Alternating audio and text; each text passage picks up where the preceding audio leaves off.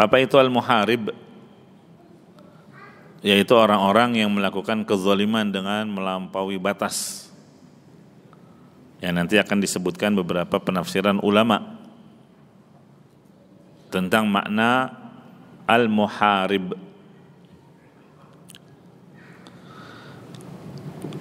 Berkata Imam Syukani rahimahullah wa huwa ahadul anwa'il madhkurati fil Qur'an al-qatlu aw salbu aw qat'ul yadi war rijli min khilafin aw nafyu min al-ardi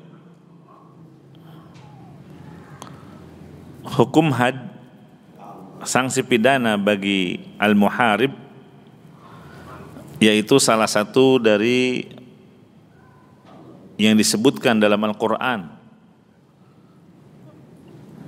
Jadi ada beberapa pilihan. Kalau pezina kan jelas antara dicambuk atau rajam. Kalau lajang dicambuk, kalau sudah muhson sudah pernah menikah dirajam. Begitu juga pencuri jelas dipotong tangannya. Demikian juga peminum khamar. Demikian juga dengan al-qadhaf, tukang fitnah, yaitu yang menuduh tuduhan zina tanpa bukti dan saksi.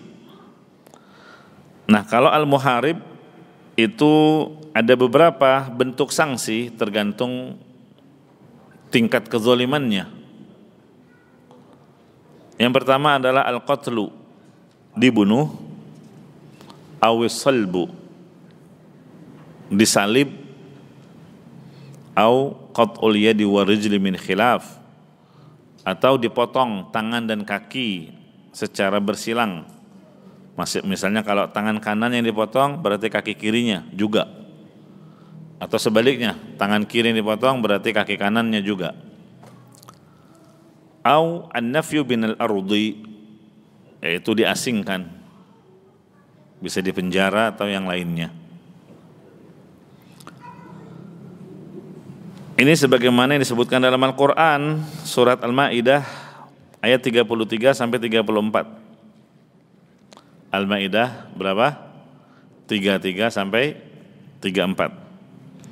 Allah Subhanahu wa taala berfirman, "Innama jazaa'ul ladzina yuharibuna Allah wa rasulahu wa yas'auna fil ardi fasada ay yuqattalu aw yusallabu."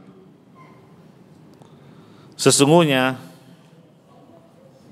pembalasan terhadap orang-orang yang memerangi Allah dan Rasulnya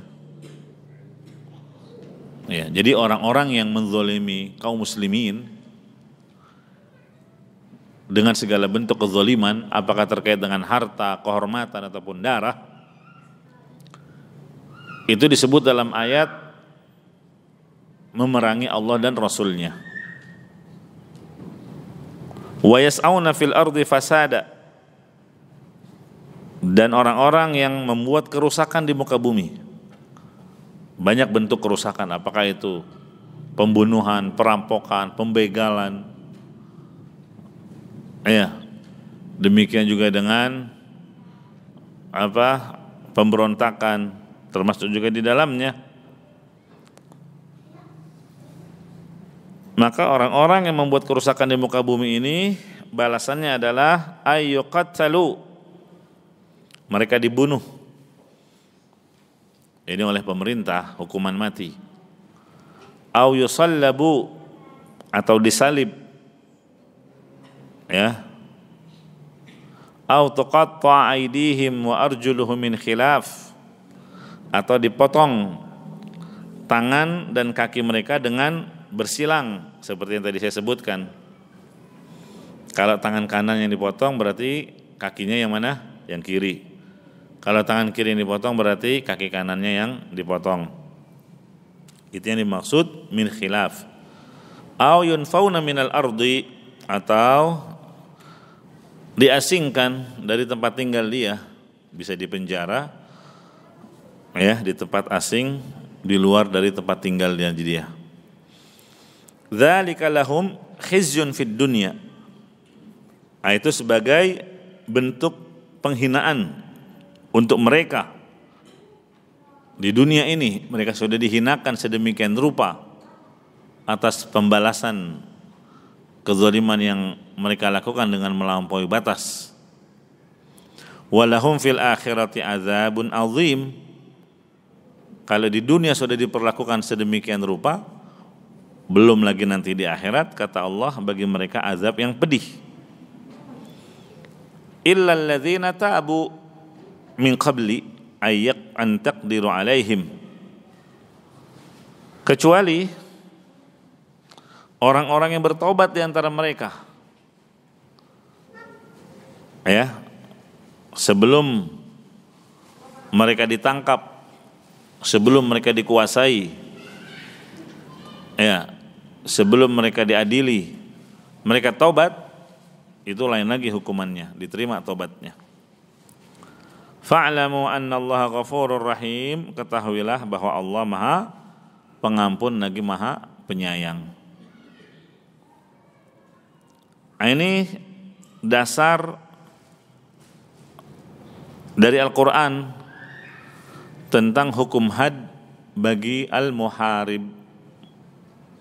Orang-orang yang melakukan kezaliman dengan melampaui batas. Hadza siratun mustaqim.